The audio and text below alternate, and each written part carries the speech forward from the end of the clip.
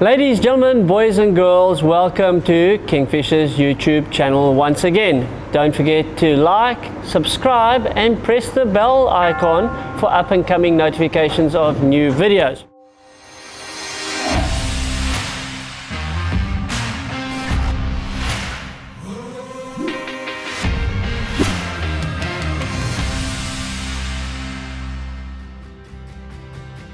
Today I'm going to be talking about spooling a spinning reel for beach fishing. In other words, one that we'd use for catching things like garrick, kingies, cob, drop shotting, and of course our snoek that we get here in Natal. To start off with, I have chosen our BG uh, MQ uh, 6000 reel the reason I've chosen this reel is because of the retrieve it's got. 5.7 is to 1. It's also very light and it will do the job perfectly for the species that I'm going to be talking about. In other words, kingfish and uh, of course cob um, and garrick. Because kingfish and garrick like a fast moving lure, the 5.7 is ideal. So that's the reason I chose the BG MQ today. I'm going to spool it up with 20 pound braid. And as you know, braid's a lot thinner. Um, it allows you to throw a lot further. It's also more direct when you get a hook set and you can pull the fish a lot faster and a lot harder. Okay, so what I've got here, my 6000 20 pound J braid 8 weave and the 8 weave is a lot rounder so it'll throw a lot further it goes through the eyes a lot quicker.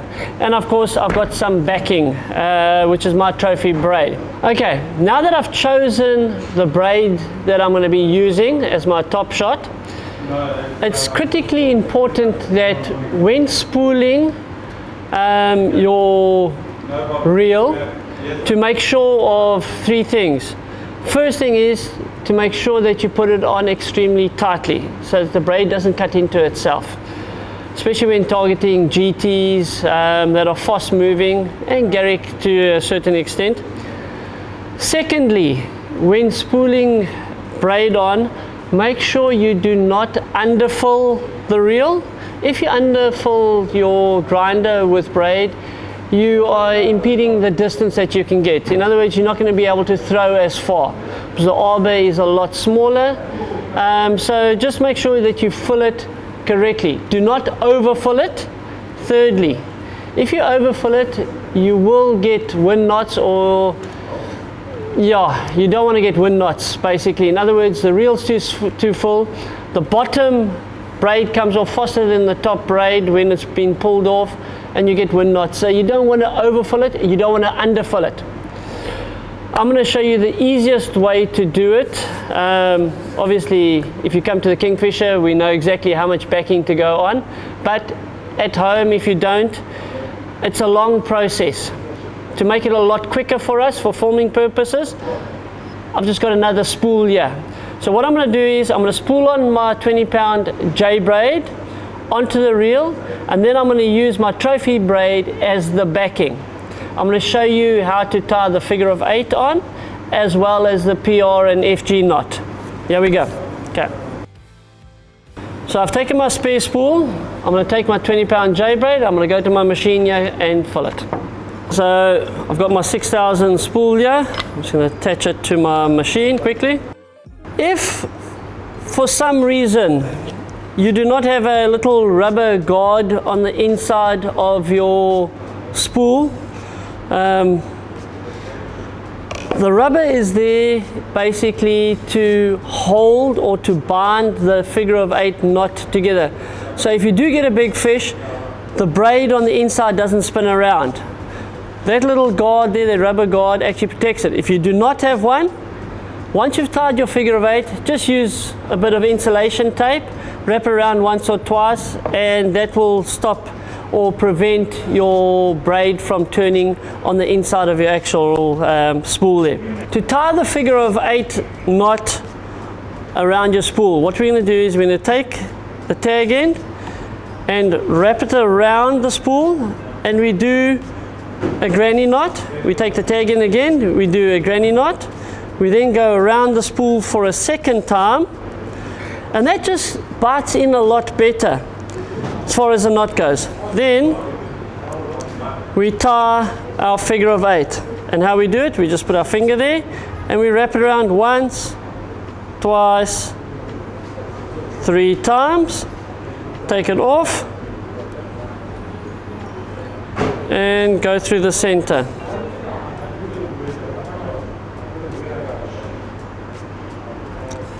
Grab the tag end, and you'll see it should pull out. There's the figure of eight forming.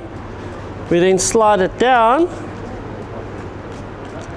and you can see how it's actually biting into the actual, and I'm going to put it around for you guys. You can see how it's bitten into that actual rubber over there. Now that rubber will prevent the knot from turning. Okay, cut off the tag end and let's get ready to fire. So put my glasses on.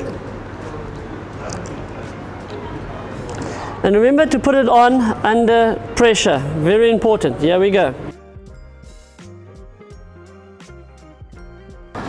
Okay, so there we come to the end.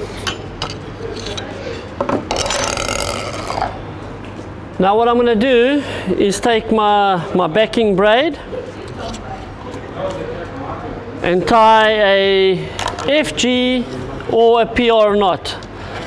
I'm just going to do a PR knot. You can do a figure of eight if you don't have a PR knot or you don't know how to do the FG.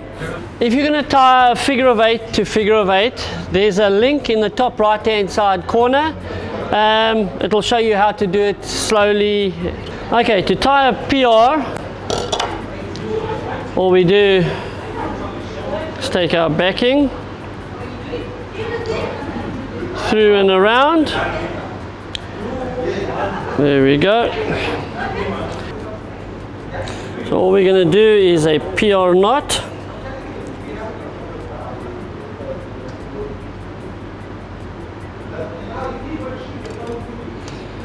Okay, here we go guys.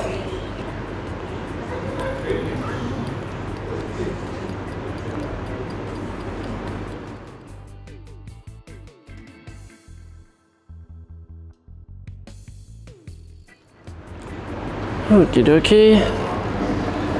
There we go. One half inch on the left.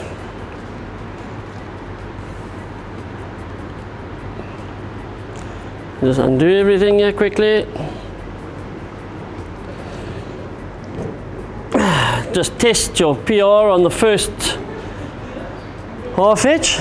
And then all we're going to do is do another five or six um, alternating half hitches. One,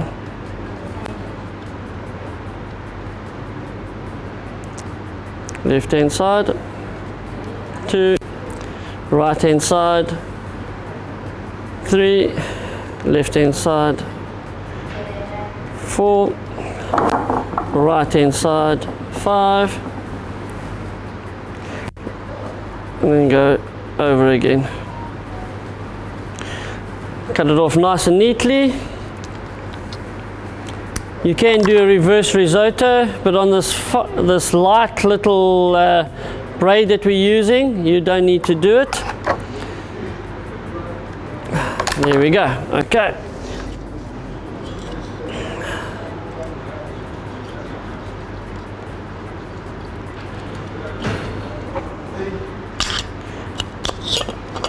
And we continue to fill up the backing now onto the, the reel and it will take another about 150 meters. So here we go.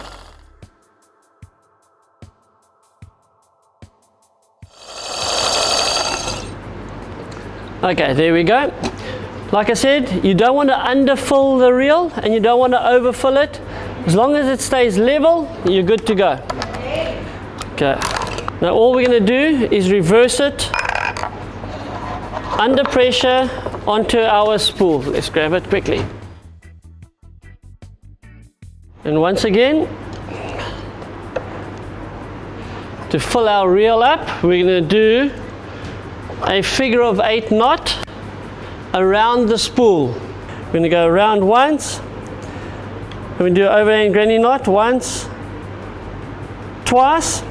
That just bites into the spool nicely around. And then again, like I said, don't forget the link in the top right hand side corner. Figure of eight. Once, twice, three times around.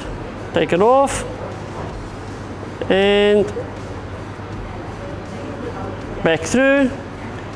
Figure of eight. Slide it all the way down to where we're going. You can see it's bitten in quite nicely there. Cut off the tag end. And you can leave quite a bit of tag end. It doesn't make a difference. It'll just, yeah, there's no reason why you should cut it too closely um, on your back of your spool.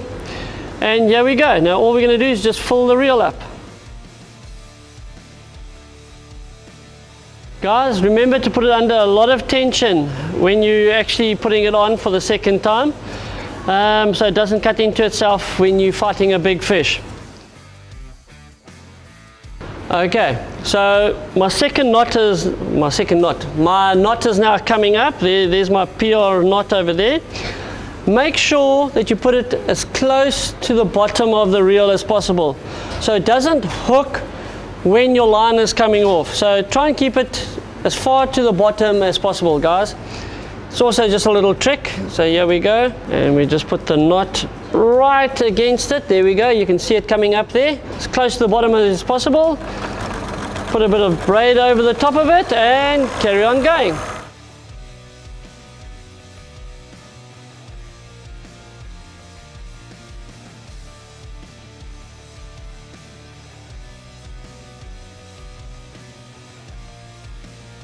Okay, there we go. Perfectly flush, not overfilled, not underfilled. That's what it should look like. Okay, now I'm going to do a PR onto my leader that I'm going to use. For this one where I'm fishing for GTs come Garrick, I'm going to be using 40 pound FC fluorocarbon. Obviously fluorocarbon, invisible in water, high abrasion, um, especially for the scutes on the kingy. Um, and of course, 40 pound FC stays nice and straight. There we go. Tie the PR. We take the braid through and around the O-rings. We then wrap the braid around one, two, three, four, six, seven, eight, nine, ten times. Three times around your wrist, maybe four times. Grab your FC fluorocarbon. And all we're going to do is wrap it around. Here we go. Remember when tying a PR that you don't want to tie it too long on a casting lure. So about that length is more than enough. Okay, so we take our tag end of our braid, we do a half hitch around it, pull it to where we want it to sit, just behind the PR knot, one half hitch. Now all I'm going to do is pull tight to make sure that it actually seats properly, and you can see it does. I'm then going to go the opposite side all around. There we go. Pulling tight. And again, opposite way. Pulling tight. I'm going to do this six times. On to the third one now. And of course the sixth time.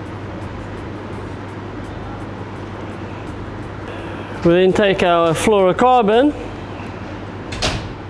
and cut it as closely as we can.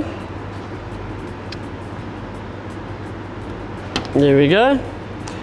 Cut off our tag end. And depending on what length we want it to be, normally about a meter and a half in length. for our plugging. Quickly do this. So there is our PR knot.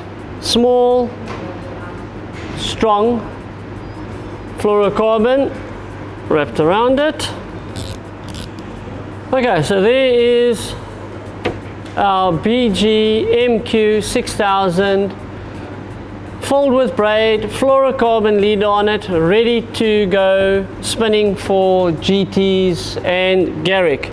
Best suited rod for this particular fishing that I want to do, in other words the Garrick, the GTs, would be our BG 11 foot 6 spinning rod. It's our power spin. It's rated 65 to 130 grams, making it ideal for throwing those big Garrick plugs. Uh, for catching, like I said, GTs. Go into any leading tackle store nationwide and our Kingfisher branches. There we go, guys. Go out there and enjoy.